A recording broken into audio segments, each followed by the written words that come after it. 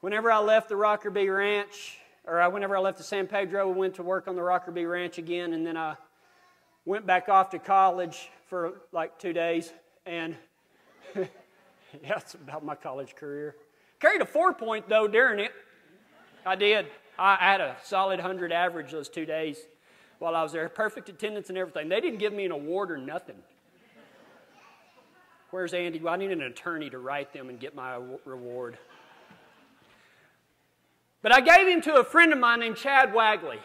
Chad had, was a big uh, uh, sheep showman, and um, he was using Woodrow. Woodrow was a working cow dog. And the last thing I wanted to do was keep Woodrow in a cage or, you know, something like that. That dog needed to work. That's what he was made for. And so I gave him to Chad because I knew Chad would take care of him.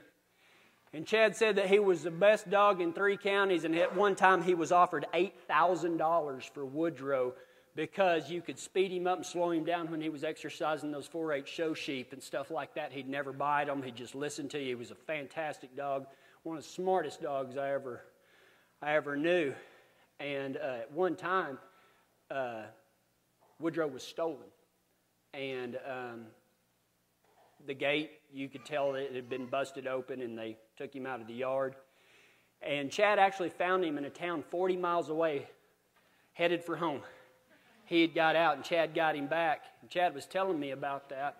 And so, Chad, not because of anything that Woodrow did, but Chad chained him up to at his house with a chain, and he always just when he wasn't there. It's not like he chained him up for good or anything like that, but he put a padlock on there because he didn't want to do without Woodrow. And one time I was home in Big Lake, and I wanted to see my best friend real bad.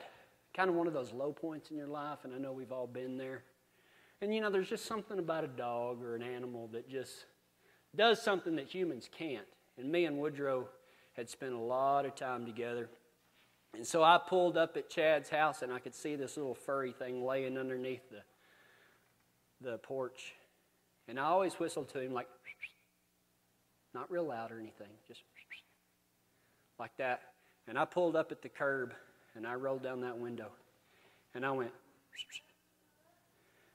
that head shot up and all of a sudden you seen him get up and he hit the end of that chain so hard I thought he was going to break his neck. He turned around and he was biting the chain and just screaming, just whining to get to me. And with tears in my eyes, I drove off. I couldn't bear it any longer. Seeing him at Chad's chained up, even if it was for his own protection, just broke my heart. And I was going to get him back, but he was stolen again. The padlock was cut with a pair of bolt cutters, and we never saw Woodrow again. It was about a week after that. And, uh, but you know what? I, I couldn't imagine what Woodrow felt like chained up under that porch.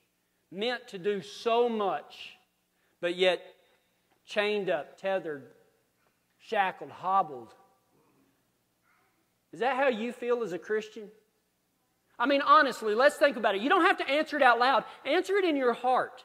Do you really feel like God's promises of you will soar on wings like eagles, you will run and not fall, you won't faint?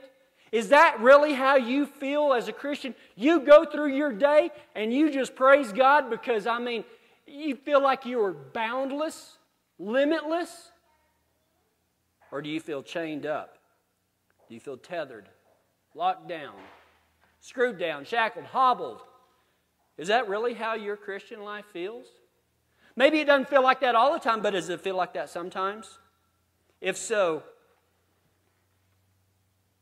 I invite you to take a journey of discovery with me. I don't know how long this is going to take. With the Holy Spirit as our guide, we are going to learn how to unleash God's promises on our lives. Welcome to Unleashed. Música